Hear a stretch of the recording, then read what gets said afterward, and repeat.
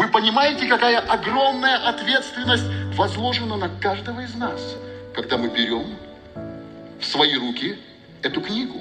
Эта книга определит нашу жизнь на земле, и эта книга определит нашу вечную участь после земной жизни.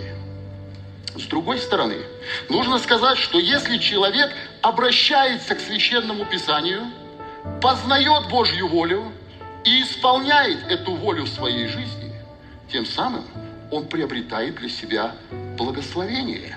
Посмотрите, что говорит апостол Иаков в своем послании, первая глава, с 22 стиха. «Будьте же исполнители слова, а не слышатели только обманывающие самих себя». Ибо кто слушает Слово и не исполняет, тот подобен человеку, рассматривающему природные черты лица своего в зеркале. Он посмотрел на себя, отошел и тотчас забыл, каков он. Но кто вникнет в закон совершенный, закон свободы и прибудет в нем, тот, будучи не слушателем забывчивым, но исполнителем дела, блажен будет в своем действовании.